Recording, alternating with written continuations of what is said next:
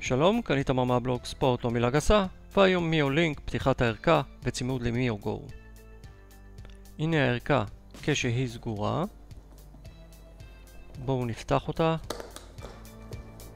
נפתח את הלשונית פה למעלה. הצלחתי. נוציא את תכולת הערכה. אין כלום. נשלוף את הפלסטיק מלמעלה.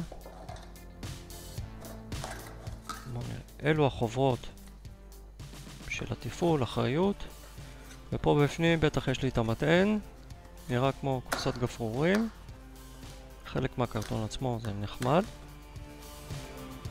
עושה קצת בעיות אבל נצליח לשלוף אותו. אחת דחיפה קטנה מאחורנית, יצא.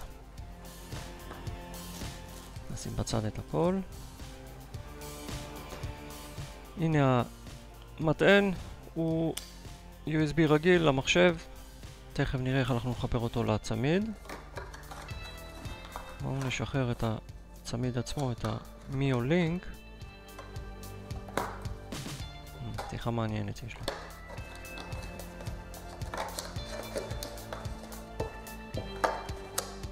ויצא גם. אז ככה נראה הצמיד מיו לינק. בפנים, מהצד הפנימי שלו אפשר לראות את החיישן של הדופק. בואו ניקח חזרה את המטען, אז אפשר לראות פה את ארבעת הפינים, נכנסים בעזרת מגנט זה נתפס, לא נופל.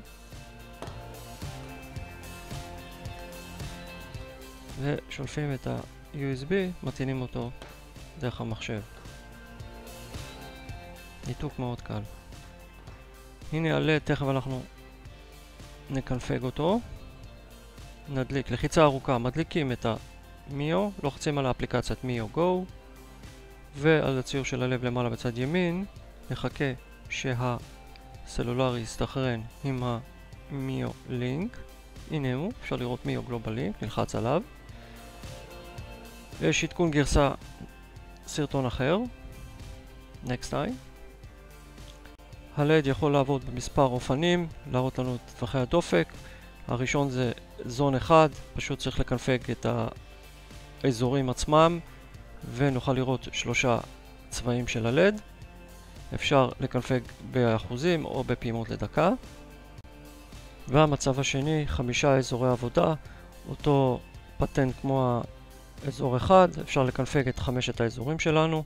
כמובן שגם פה אפשר לעבוד עם אחוזים או דופק עצמו ואפשר לראות את השם של ה-Device שלנו ואת המספר גרסה. תודה רבה.